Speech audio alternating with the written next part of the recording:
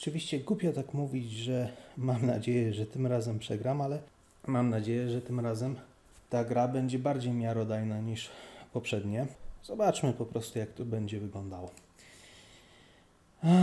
To jest ręka bardzo spoko. Jak na ten deck, jedna z lepszych, które chciałbym widzieć, ponieważ ten deck chcę widzieć o mnóstwo landów. Zacznę oczywiście od Scattered Grovesa. A nie Cycling, tylko Play. O i zobaczymy. To też jest tuman tak w ogóle. Tak więc może w końcu trafimy na deck jakiś taki topowy Tier 1. A chyba nie. Przynajmniej nie Mardu. No kurczę. Ten ticket zostawimy na potem. Zostawimy na potem. Nie ma jakiejś wielkiej potrzeby zagrywania go w tej chwili. O, chyba będzie Pameller. Gdzież to ciężko stwierdzić. O. Też nie mam powodu tego teraz zagrywać. Zagramy sobie Islanda i poczekamy turę. Może akurat przeciwnik zagra coś, co sprawi, że kastauty będzie warto zagrać. O, czarna mana. Bez znaczenia, bo to widzę, że Hydra. Hydra zaś oznacza. No, teraz jakby był cast out za 3, właśnie to jest jego problem. Raz, że jest y, mało skuteczny, dwa, że jest troszeczkę za wolny. Dlatego niestety niewiele to nam pomaga. No, myślę, że Ticketa też przewinę.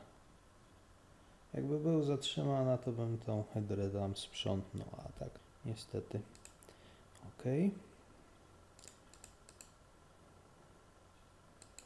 Zagrajmy, ale może nie w ten sposób. Zielony,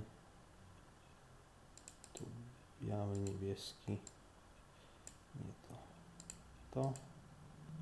No, myślę, że od razu dociągnę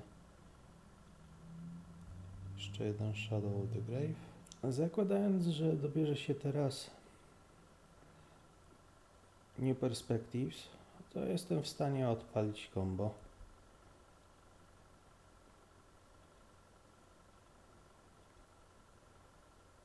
Oczywiście nie w tej turze, ale w następnej.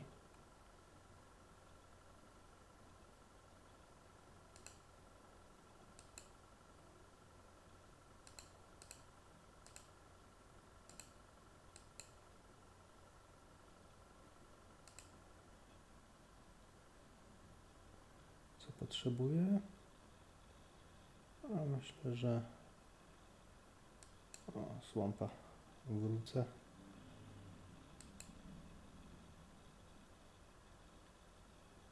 Mhm. Wizjer.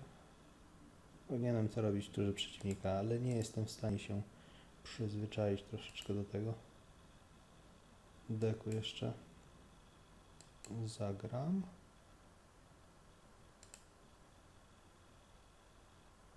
Sheltered Thicket.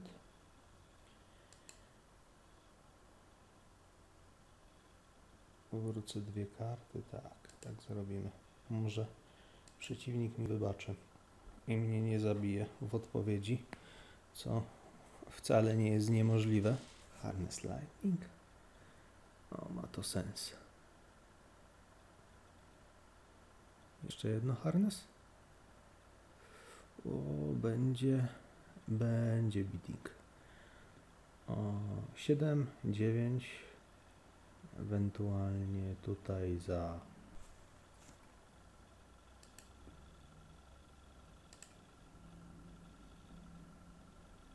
No, całe szczęście za 9 tylko.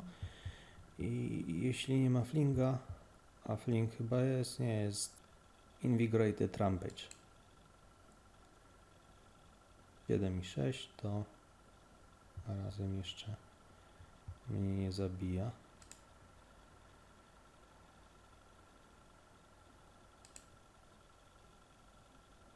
ale prawie. Wystarczy szok w twarz.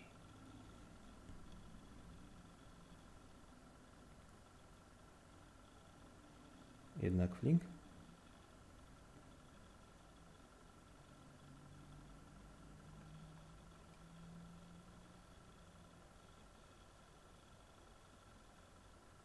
Jednak flink. No, nie ma tu zaskoczenia. To trochę fakt, faktem, że źle zagrałem, bo powinienem to robić w turze przeciwnika, ale tu widzę wielkiej różnicy by nie było. Niestety do New Perspectives daleko. Mamy turę piątą. Ja no kawał czasu zanim w ogóle to to odpalę. Tak więc nie ma co się dziwić, że się skończyło jak się skończyło. Zostawimy dwa trawersy.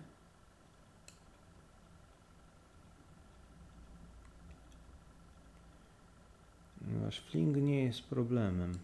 Sfinksa wywalimy. Sfinks jest wolny, na Hiri wrach nie, wraf, wraf nie będzie.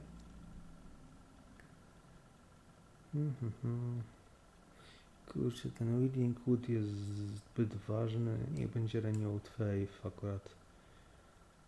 Kastauty to też zawsze jakaś odpowiedź. No niby Kefnet też w miarę się sprawdza, ale niech będzie tak, że dwóch kefnetów wywalimy, wsadzimy. e, Wsadzimy dwóch kefnetów, wywalimy dwa kastauty, bo kastauty są troszeczkę za wolne, chociaż podejrzewam, że to też błąd albo inaczej. O. Już za późno. Dwa Renewed Faith, które niewiele robią i dwa kastauty. Okej. To jest spoko ręka. Oczywiście poprzednia też nie była zła, ale, ale tamta nie miała Nahiris Raf, które mam nadzieję, że się sprawdzi. Nie grałem wcześniej tą kartą. A może się okazać, że jest istotna Irrigated Farmland. No, szkoda tylko, że to sorcery. Okej.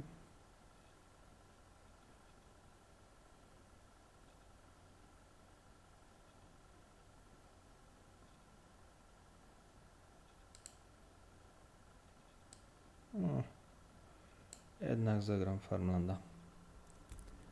Od następnej tury jeszcze Foresty i, tylko czarny ląd ewentualnie potrzebuję.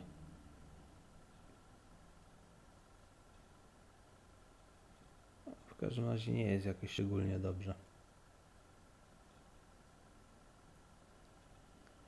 Long Task Cup. I pytanie, czy teraz zabijać, czy nie?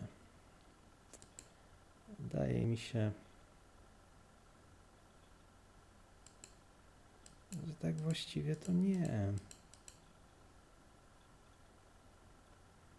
Tak właściwie to zagram po prostu cast auta, wywalę long taska.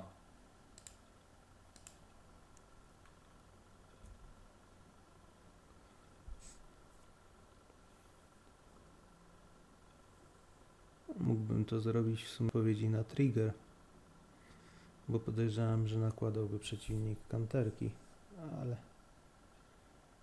o, nie ma aż tak, wydaje mi się dużej różnicy. Tylko, że mi się kończy paliwo, a przeciwnik ma kart w ręku. O, jeszcze proszę. Takie cuda.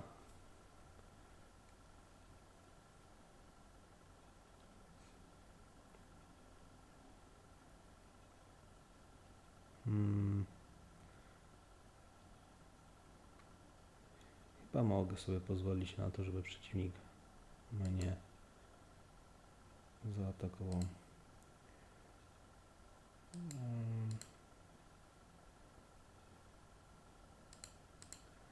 Zagram jednak Scattered Groves. Z prostego powodu. Um, jeśli dobiorę w następnej turze combo, to myślę, że odpalę bez problemu.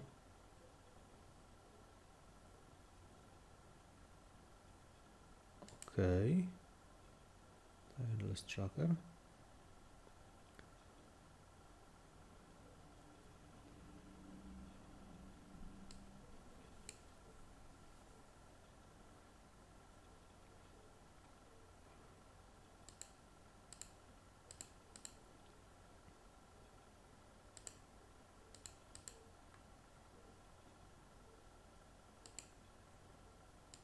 Zagram jednak tego castouta.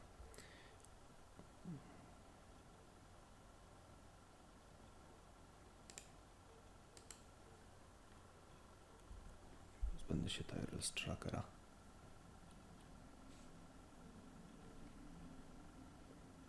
No, ale nie wygląda to dobrze.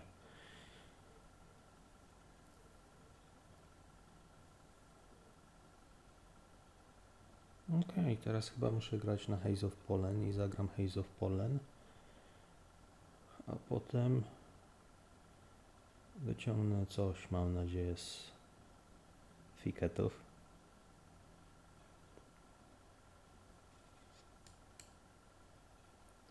Będę mógł zagrać pod Nahiri Suraf.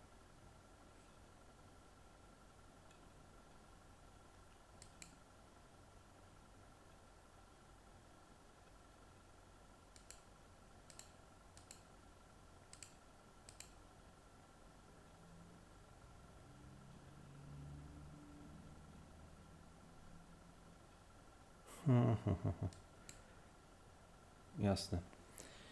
Będzie flink i będzie combo.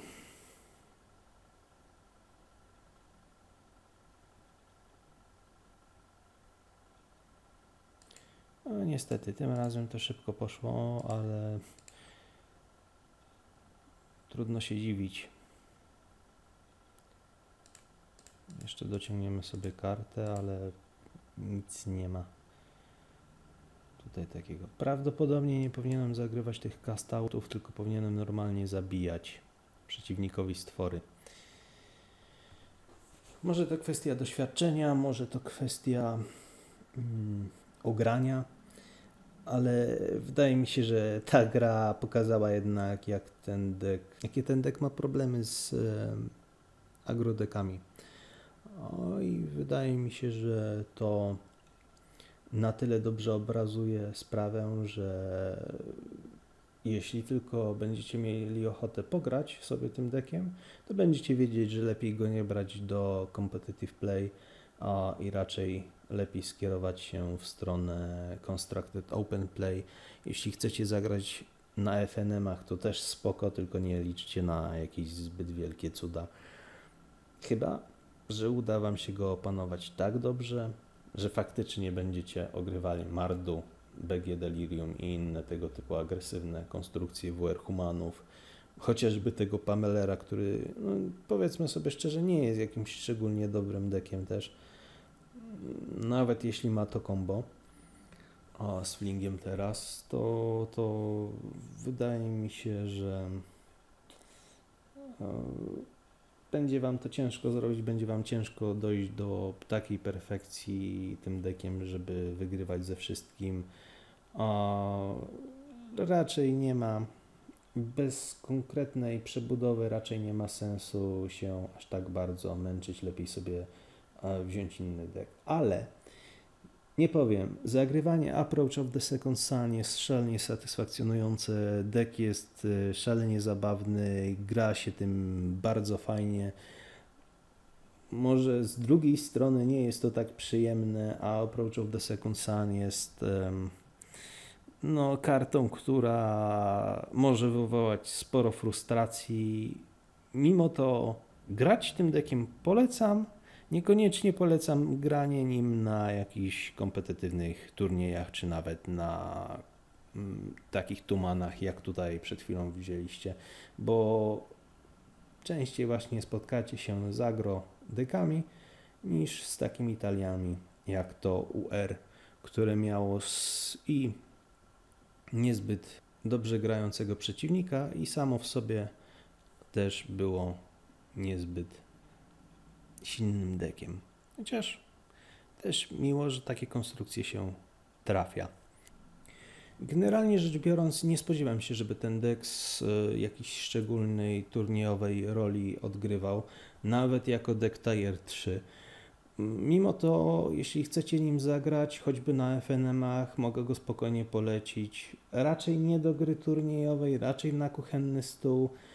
No ale jeśli chcecie się bawić, nastawcie się na to, że będziecie przegrywały dużo z BG Delirium, z Mardu i tego typu różnymi agresywnymi dekami. Z kontrolami raczej sobie poradzicie bez problemu. A jeśli meta skręci w tą stronę, no to macie szansę faktycznie coś e, osiągnąć, ale powiedzmy sobie szczerze, to jest raczej deck fanowy niż deck naprawdę kompetytywny i mam nadzieję, że ta ostatnia gra pokazała w czym jest problem. Chociaż jeśli opanujecie go do takiego poziomu, że te trzy topowe agresywne deki, czyli WR Humanów, Mardu i BG Snake'i jesteście w stanie ogrywać, to super. Dajcie wtedy znać w komentarzach, dajcie znać, co byście poprawili w deku. Ciekawe, może komuś się uda wymyślić coś nowego. Może macie inne podejście, tak jak ten gracz z drugiej rundy. Jeśli tak, dzielcie się tym z nami w komentarzach i do następnego razu.